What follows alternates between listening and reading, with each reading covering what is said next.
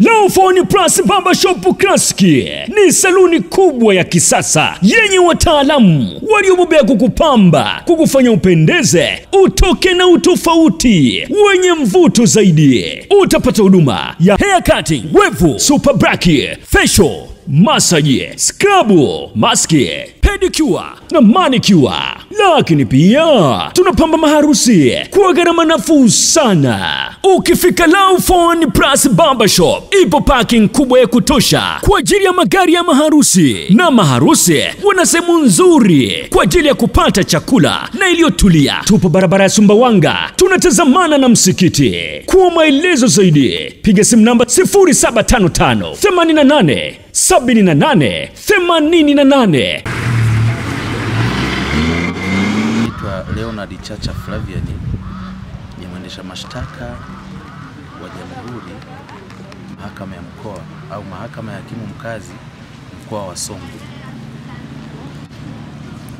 Mnamo tarehe 26 mwezi wa 9 mwaka 2019 mshtakiwa Fadhili Kasiano Silwimba alif- tulimfikisha mbele ya mahakama hii kwa kosa la kusambaza la kutoa lugha ya matusi kwa njia ya mtandao kinyume na kifungu cha 23 kifungu kidogo cha pili, kifungu kidogo cha kwanza na kifungu kidogo cha pili cha sheria ya makosa ya mtandao, sheria namba 4 ya mwaka 2015.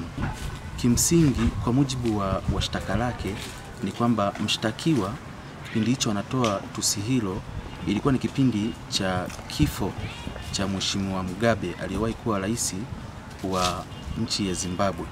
Baada ya kuwa amefariki, mshtakiwa huyo alituma ujumbe wa matusi, ujumbe wa matusi kwenye grupu kule kwenye mtandao wa Facebook ambao ulikuwa unasema hivi: kufa Mugabe na bora angekufa Magufuli, hata kula yangu apati. Lakini kwa pale sasa akatoa tusi ambao alimtukana Mheshimiwa Magufuli, ndilo lililopelekea mahakama kumtia hatiani na ni baada ya upande wa ushahidi au upande wa upande wa jamhuri kuleta mashahidi wake, na sisi tulivyoleta mashahidi wetu, mashahidi wetu walitoa vizuri ushahidi wao mbele ya mahakama, na mahakama ikamwona mshtakiwa ana hatia. Lakini pamoja na kwamba mshtakiwa huyo alitoa utetezi wake, lakini bado ndio tulionyesha kwamba hauna upungufu wowote, na ndio maana hata mshtakiwa mtaalamu wetu kutoka makao makuu ya polisi Dar es Salaam, makao makuu madogo ya jeshi la polisi kule Dar es Salaam, alivyokuja kutoa ushahidi mahakamani, mshtakiwa alikiri kwamba yale yote aliyoeleza yule shahidi upande wa jamhuri ambaye ni shahidi wetu yalikuwa ni ya ukweli kabisa. Wito wangu kwa jamii, jamii inapaswa kujua kwamba ukitoa matusi au ukitumia mtandao vibaya ni kosa la jinai. Sasa ile sheria namba 4 ya mwaka 2015 sheria ya mtandao imeorodhesha makosa mengi sana.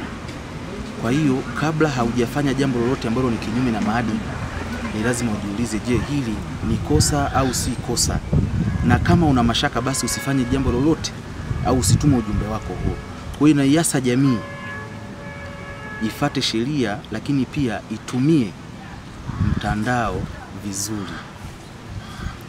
Kwa wasipotumia mtandao vizuri, watajikuta wanaingia katika mashtaka na baadaye, na madhara yake ndio kama hayo, mtu atahukumiwa kulipa faini na ambayo faini yake ni kubwa sana, shilingi milioni tano kama huyu wa leo, au kifungo cha mwaka mmoja au kuendelea.